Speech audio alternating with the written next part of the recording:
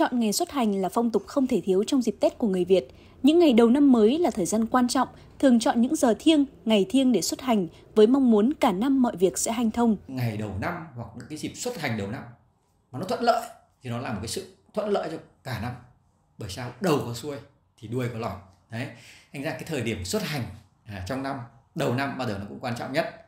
Thì chúng ta sẽ chọn trước hết là chọn ngày à, xuất hành đúng không ạ? Ví dụ như trong mùng 1, mùng 2, mùng 3 thì ngày nào tốt. Ví dụ như năm nay là ngày mùng 1, mùng 2 thì tốt hơn so với ngày mùng 3 chẳng hạn như là hướng xuất hành chẳng hạn thì ngày mùng 1 ví dụ như là uh, cung đông nam thì nó gặp hỷ thần cung uh, tây nam thì gặp uh, cung tài thần chẳng hạn thì có những cái hướng mà nó xuất hành nó chủ về tài lộc có những hướng xuất hành nó chủ về tinh duyên